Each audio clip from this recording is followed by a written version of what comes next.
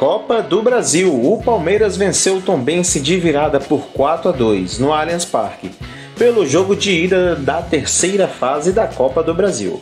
Gabriel Menino, Flaco Lopes, Gustavo Gomes e Rafael Navarro fizeram os gols do Alviverde. Os gols saíram aos 36 minutos e aos 40 minutos do primeiro tempo, aos 42 e aos 51 do segundo tempo. Matheus Friso e Marcelinho marcaram para os visitantes aos 10 da primeira etapa e aos 47 do segundo tempo. Vanderlan foi o responsável pelas assistências dos dois primeiros gols do Palmeiras. O lateral de 20 anos foi titular pela terceira partida consecutiva do ano. A partida de volta será disputada em 26 de abril no estádio Soares de Azevedo, às 20 horas horário de Brasília. Dá essa força, galera, não custa